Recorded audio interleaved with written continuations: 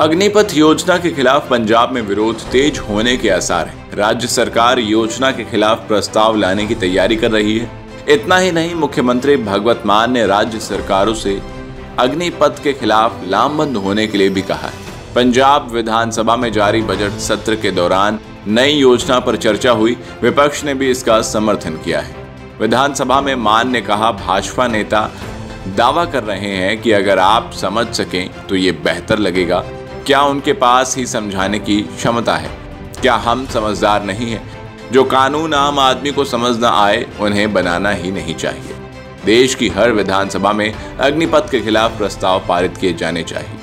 उन्होंने कहा, जब मैं सोचता हूँ कि एक सत्रह वर्षीय भर्ती होगा और इक्कीस साल की उम्र में वापस आएगा तो उसकी शादी भी नहीं हुई होगी। उसे पूर्व सैनिक के तौर पर मान्यता भी नहीं मिलेगी। चर्चा के दौरान विपक्ष के नाथ प्रताप सिंह भाजपा ने कहा कि रक्षा बलों में पहले पंजाब के 20 फ़ीसदी युवाओं की भर्ती होती थी।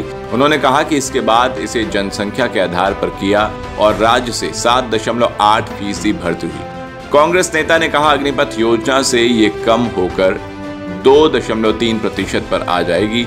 हमें इसका विरोध करने के लिए संयुक्त प्रस्ताव लाना चाहिए। पश्चिम बंगाल के मुख्यमंत्री ममता बनर्जी ने भी लगातार अग्निपथ योजना पर सवाल उठा रही है।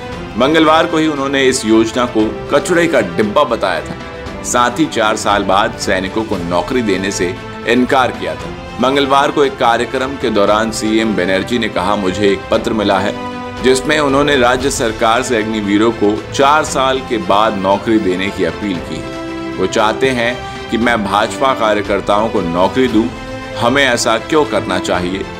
पहली प्राथमिकता प्रदेश के युवाओं को दी जाएगी। मेरे तो पास एक लेटर आया वो लेटर में लिखा, जो चार बरस में काम करेंगे लोग, उसका बाद हमारा डाटा बैंक आप रख दीजिए और आप स्टेट गवर्नमेंट उसको नकली दे दीजिए। समझिए, हम उसको बीजेपी का वर्कर को हम नकली दे देंगे। हमारा नौकरी देने के कोई एतराज़ नहीं है। अगर हमारा नौकरी है तो हमारा स्टेट का लड़का को हम देगा हमारा स्टेट का लोकल का हम ज़रूर देंगे जो भी हमारा ज़रूरत है